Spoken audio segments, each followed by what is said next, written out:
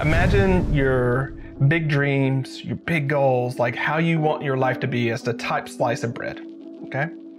And then let's imagine the bottom slice of bread being your day to day reality and what your schedule actually looks like and all the stuff that's got you tied up on any given day. For a lot of people, there seems to be a big gap between those two. It seems like a lot of air between where we want to be and what we want to do and what we do on a day to day basis. So it's called the air sandwich. But that's an illusion. In between that top slice of bread and the bottom slice of bread are five chief obstacles that get in the way all the time. So, obstacle one competing priorities. Right? You want to do that and you want to do that and you can't do both at the same time. What are you going to do? Right? Only two? I like, there are 14 things I want to do.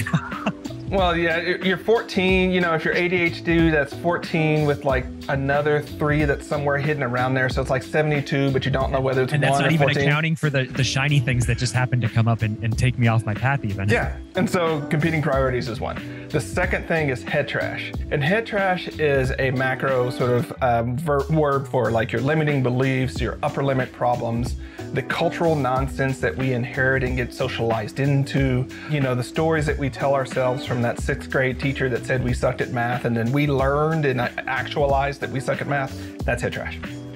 Then you have the third piece, which is no realistic plan. All three of those words are important. We might want to unpack them, but I'll just say no realistic plan. The fourth piece is too few resources.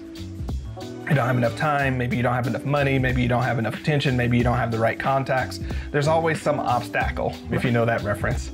And then the fifth one is poor team alignment. And on the personal side, this one confuses people because they think I mean the other side, but I mean the team that's around you, your family, your friends, your community, your coworkers, all of those at a macro level or team. And largely what happens is we haven't either enrolled or told people what we truly want to do. And so the team around us can't help us and actually, unfortunately, pull us in different directions and exacerbate the problem. So those are the five obstacles that really keep us from doing our best work. And usually it's at least one of those in play, but usually it's multiples of those.